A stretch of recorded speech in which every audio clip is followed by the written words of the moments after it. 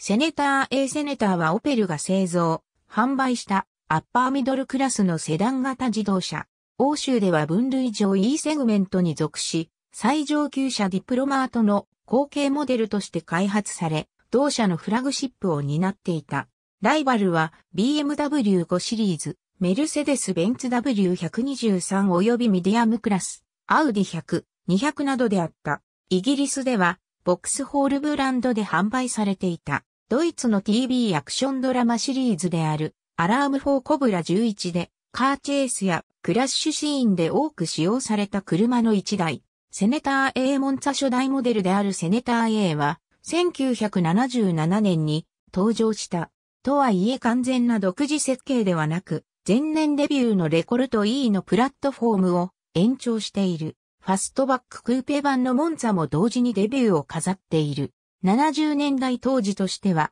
フラッシュサーフェイス化されたボディが特徴で、後のアウディ100や日産、レパードなどにも、その影響が伺える。1983年にマイナーチェンジを行い、全体的に高級感を増した。日本導入は、当初、自動車排出ガス規制のクリアができずに導入のままであったが、1984年頃に正規代理店の東方モーターズが直列6気筒エンジン搭載車を販売した。しかしブランド力の低さや信頼性の低さ、上位グレードで670万円という高価格が、あだとなり全くと言っていいほど売れなかった。イギリスでは、ボックスホールロイヤル、南アフリカ共和国では、シボレーセネターとして販売されていた。また、韓国では GM 系列の大宇自動車が細部を韓国人向けの嗜好に改め、デーウローヤルプリンスとして1990年代まで販売し、レコルト E ベースのローヤルサロンと並んで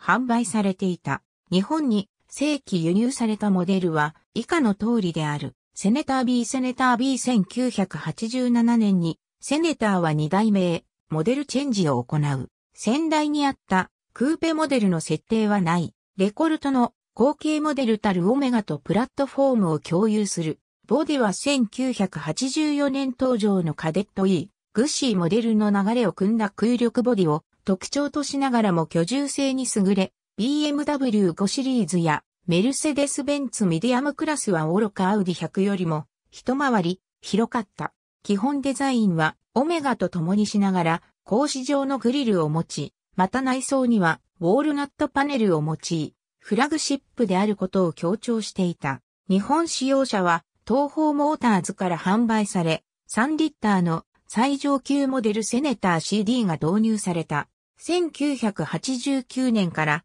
新たにオペル販売権を得たい鈴自動車は600万円を切るプライスを掲げた。右ハンドル車は通常イギリスのボックスホール工場で生産されていたが、日本向けの右ハンドル車は、ドイツ本国の工場で生産されていた。派手な広告戦略を取らず、オメガに3リッターモデルが追加されると逆に価格の割高感が出始め、販売は失速し始める。1990年には小変更を行い、電動格納式、ドアミラーやメッシュタイプのアルミホイール、リアスポイラー、インストゥルメントパネルのレザーパッド等を追加し、高級感を向上させたが販売が好転することはなかった。これは欧州諸国でも同じ傾向にあったといえ、1994年にオメガがフルモデルチェンジを行う際に、セネターは吸収されモデル廃止となった。なお、セネター B のリアコンビネーションランプは、イギリスの高級車であるブリストルブレニムに採用されていた。日本に正規輸入されたモデルは以下の通りである。ありがとうございます。